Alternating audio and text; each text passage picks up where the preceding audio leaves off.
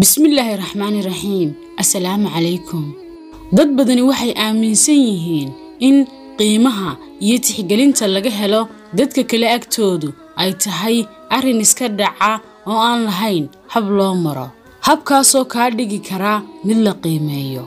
Waxay si khaldan isaga dhaadhiciyeen in dadka qaar si ogaan la'aan ah loo qiimeeyo kuwo kalena dadku aanay tixgelin badan siin laakiin xaqiiqada qadhaadhi waxay tahay in lagu qiimeeyo iyo inaad bilaa qiimo noqotaa labaduba inay gacantaada ku jiraan. Haddiiba uu jiro qof si xun kuula dhaqma qiimahaagana hoosu dhiga. Ogow inaad adigu sababta leedahay. Sidaas si la mid ah. Haddii uu jiro qof ixtiraam weyn kuu haya mar kastana ku maamuusa. Ogow waa sida uu kaa arkay sababteedana adigaa leh haddaba maanta waxaynu isla eegi doonnaa saddex qodob oo aad ku noqon karto qof qiimo weyn ku leh dadka kale agtooda. Soo dhowow haddii aad nagu cusub tahay magacaygu waa ayaan jaamac nuux ayaan dhalad. Sabskraybta taabo si aad noogu soo biirto laygtana saar si aad noogu dhiiri geliso sii wadidda muuqaaladan waxtarka leh. Aad baad u mahadsan tahay. Haddii aad hore noola joogtayna ku soo dhowow barnaamijka qodobka koowaad inaad sharaxaad la'aan wax bixiso iyo inaad sharaxaad la'aan wax diiddo. Intan micnaheedu waxa weeye inaad caawiso dadka iyagoon kaa dalban wax kastoo ay u baahan yihiin. Ha noqoto garab istaag niyaddhis hadal wanaagsan iyo wax kastoo aad qofka ku kaalmayn karto. Waa inaad eegtaa waxa qofkaasi u baahan yahay kadibna aad siisaa isagoo aan ku weydiisan sidoo kalena waa inaad diiddaa waxyaabaha qaar adigoo aan wax sharaxaada ama cudurdaara bixin. Laga yaabaa inaad mashquul tahay laga yaabaa inaanad diyaar u ahayn inaad caawiso wakhtigaas.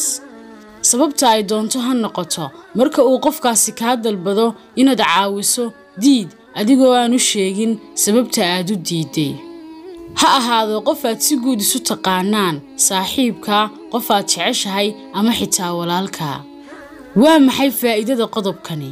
Laba faa'iido ayaad ka dhexlaysaa ta koowaad marka aad qofka caawiso isagoo aan ku weydiisan wuxuu dareemayaa inaad tahay qof danaynaya oo laysku hallayn karo.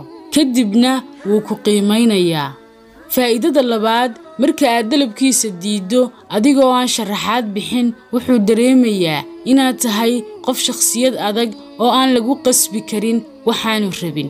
Kadibna qiimaha uu kuu hayo ayaa siyaadaya mar kale. Qodobkaas inaynu isla fahnay ayaan filayaa aynu ka sii gudubno. Qodobka labaad naftaada ka hormari wax kasta. Dad badan ayaa u fahmaa inaad naftaada geliso kaalinta koowaad inay tahay danaysi laakiin sidaas ma aha.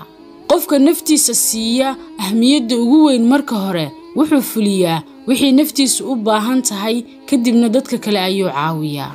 Halka qofka danaystaha ahi uu mar kasta naftiisa ku mashquulsan yahay xitaa haddii dantiisu dadka kale dhibaato u geysanayso.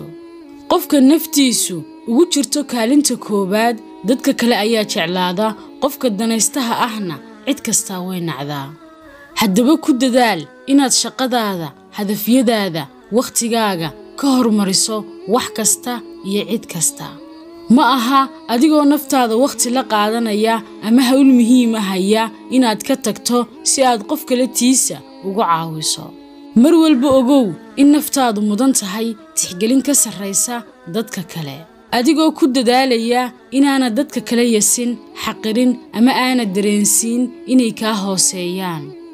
Marka aad intaas samayso waxaad qiimo weyn ku yeelanaysaa guud ahaan bulshada dhexdeeda iyo gaar ahaan qofka aad xiisaynayso qodobka saddexaad ha u samrin xidhiidhada ku dhibaya.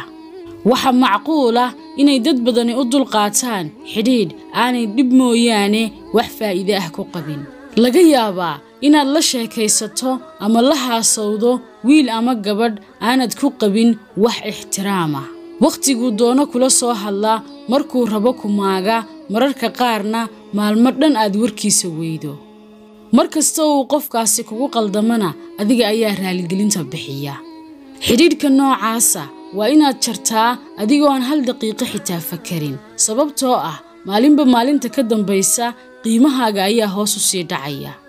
Qofkaasina wuxuu aaminsan yahay inaad ka hoosayso maadaama aad u dulqaadanayso arrimahaasoo dhan. Haddii uu jiro xitaa xidhiidh kaala dhexeeya qof aad saaxiib tihiin oo mar kasta ku xaqira wax wanaag ahna aan ku oggolayn xitaa ammaanta dadka kale ku ammaanayaan ka gubta ogow inaanad wax ixtiraama helaynin inta qofkaasi noloshaada ku jiro.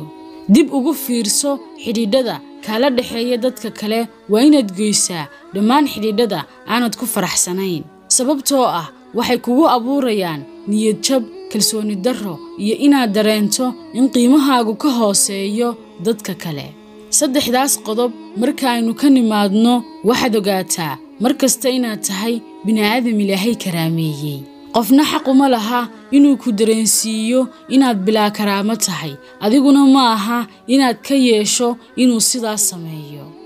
Ku celcelinta ficillo yaryar oo aan agtaada ka weynayn ayaa qiimahaaga u dhaawici kara si weyn ficil kasta oo aad samaynayso inta aanad samaynin ka hor si fiican uga sii fakar waxa ka dhalan doona.